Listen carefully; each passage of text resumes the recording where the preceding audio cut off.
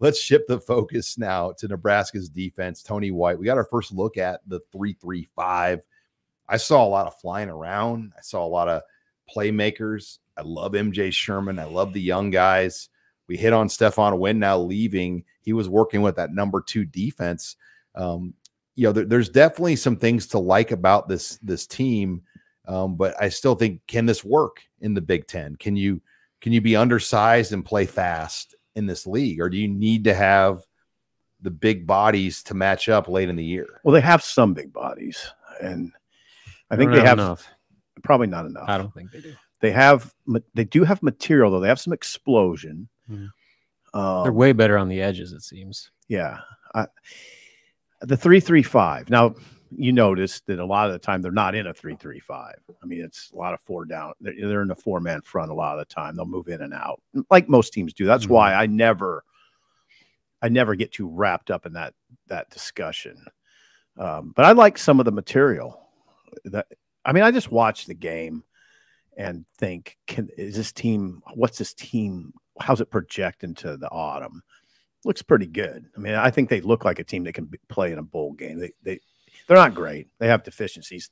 The main one being, and let's be honest, how many NFL players surefire do you see out there right now that'll be in the draft next year? That, I mean, you got to think about that. Surefire. You know, Newsome, maybe. yeah, Newsome. I would say Newsome. Uh, There's not many you can just reel off next year. So that's that's Like you can't even say Reimer at this point. no, you know, not really. I mean, he's a good college player. He's he's arguably their best player on defense, but no, you can't really. He's a little undersized Like Ty Robinson, you can't say. Mm-mm. right now. It's hard.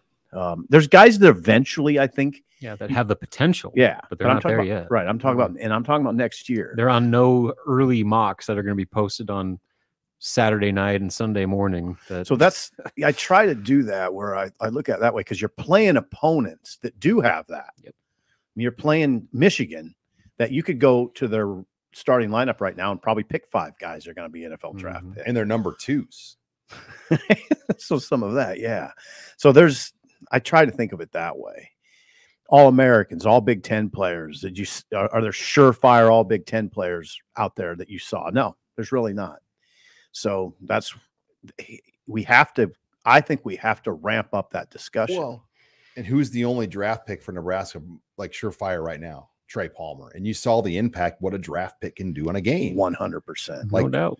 A draft pick changes a game. That's just a draft Jimmy's and the. Joes. That's just a draft pick. Sean, you're old enough. Rob, you're old enough. You're all, you're old enough to remember when Nebraska had all American players. Now the last one was Lavonte David. That was 2011. That's the last All American. State College. They're playing a top 10 Penn State team without JoePa. It's second and two.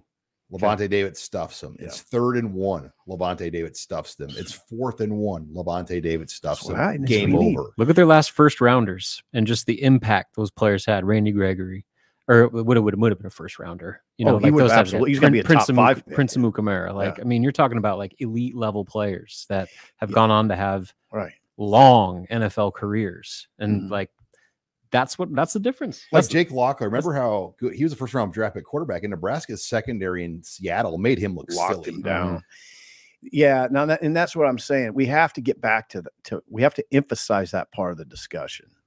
I mean, again, you haven't had an All-American at Nebraska since 2011. Okay, you haven't had an All-American offensive lineman at Nebraska since 2001. Okay, we, what do we always say? We you got to win the trenches. They used to regularly produce All-American offensive linemen at Nebraska regularly. You can just look at the decade. Look at the decade of the 90s. There were six or seven, um, eight, eight, I think. There are eight in the 90s. Go back to the 80s, there were some. Um, if you just look at the 2000, Nebraska had two of them, Russ Hochstein and Dominic Raiola. They had Mhm. two All American offensive linemen. Okay. Um, that, and you know, he had Fonoti on that in that group. He had three guys. That's what it takes. I mean, that that's what you need. Well, even just like an all Big Ten level player. I mean, yeah, like, just all American. I'm talking not second, third team. Don't minimize it all the time. I mean, I, mean, a first team All Big Ten then you're probably almost you're you're all really an All American. Yeah, you're almost I mean, when the league is now like Mhm. Right. 16 teams. I mean, go to the '90s when you had Stai and Wiegert, All American, All American. You had Aaron Taylor, All American. You had uh, Shields, All American. Now, those are just off the top of my head. I, I might have missed one or two in there, and that's how, what happened. And why is it? Why do we never talk about it? Well, I think we do when we talk about why Nebraska's not winning the Big Ten is line play. Yeah. And that's a direct Got to go get those guys. correlation No- there. And there's no shortcuts at You can maybe at some places have shortcuts to building a line because you have access to talent. Uh-huh. Nebraska doesn't have access to talent. They have to build their lines the right way. Mhm. You can't just, you know, you're not in a highly populated area where you can just plug in guys. Like, you, you have to find guys, develop them, and teach them the right way. Yeah, and the development. That's that's the part of it. They've gotten Big, they've gotten big. NFL multiple NFL linemen over the last 10 years. Mhm. Guys that start, they're guys that are captains Yeah. on their team, but they're they, for some reason from their profile as a high school recruit to their NFL career, there's a lull when they come to Nebraska.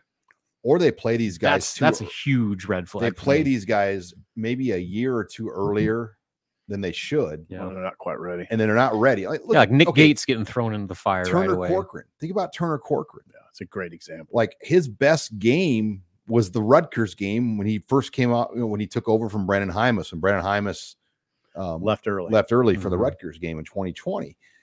And then we never, you know, then he tried to play Hurd in 2021 at Illinois, and he hadn't been the same since. Like mm-hmm. he just has not been that level of player that we saw where we were at Rutgers. We're like, man, this guy's going to be a, Again, the next great one. it goes back to what we said. It's hard in this world, and it's hard at Nebraska to be patient. I mean, it gets hot here fast.